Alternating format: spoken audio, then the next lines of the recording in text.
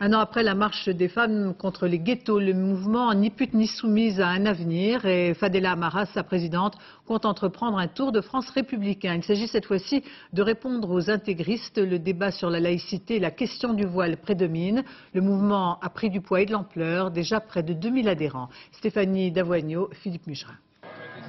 C'était hier soir à Paris la soirée où il fallait être et être vu. Le décor, celui d'une agence de communication parisienne. Au menu petit four et personnalité politique à volonté.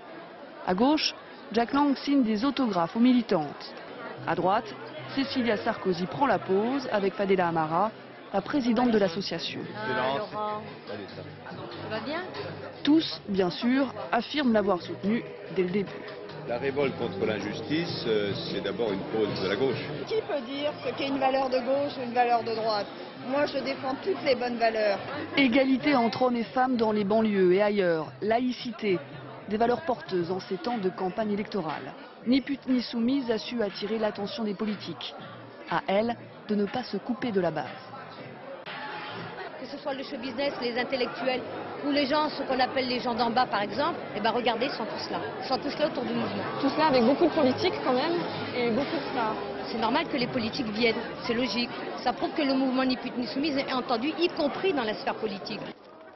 Octobre 2002, Sohan, 17 ans, meurt brûlé vive, tué par un jeune homme de son quartier. C'est de ce meurtre que naît l'association. Au départ, une simple curiosité médiatique. Mais un mois plus tard, elle rassemble 20 000 personnes à Paris.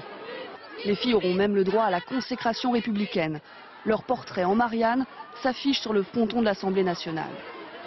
Mais quelle présence sur le terrain L'association a obtenu la gestion de 50 logements d'urgence pour les femmes victimes de violences. Au-delà de la réception d'hier soir, elles sont aussi intervenues à 500 reprises dans les écoles. Demain, l'association reprend sa marche. Elle organise des débats sur la laïcité dans 18 villes françaises.